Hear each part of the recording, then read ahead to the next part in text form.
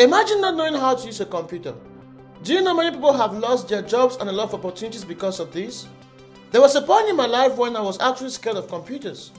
We are providing a basic computer training program which comes at zero cost and it runs for the whole year. Isn't this a jackpot? You wouldn't find such an opportunity anywhere. Come to Xashy, get trained, and acquire those basic computer skills for less than a dollar. In today's society, we find computers almost everywhere in our schools, workplaces, and our homes. Computers and the internet are now an integral part of our daily lives. Understanding the basics of how to operate them and how they work make you belong in any sphere of life, be it in your personal or professional life.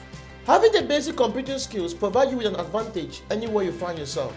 The future is computer driven. You can think about anything. I mean anything. There is an aspect of computer integrated in it. Be it in the field of arts, science, marketing or social media, you can name it. Back in my university days, I used to study accounting. We would draw balance sheets, profit and loss accounts manually, but right now it's all computerized. We all have to get on those computers one way or the other. You cannot run away from it. Don't get me wrong, using computers isn't only limited to those in the field of IT. It involves everything and everyone. From the most complex features like AI to the most basic like typing, copying, and downloading files or just checking your emails. Having basic computer skills does more than just put you at an advantage in any field. It also boosts your confidence in many ways. Truth be told, we don't live in a fair world, but having basic computer skills make you belong.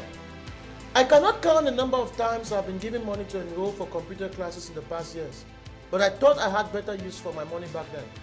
Now I know how important it is to be computer literate. I cannot emphasize enough the importance of having basic computer knowledge. It doesn't matter what age group you belong to, it is for everyone. Are you looking to develop basic computer skills? Maybe just to get comfortable, or are you looking to start a career in IT? Are you having doubts because you do not have the basic computer knowledge?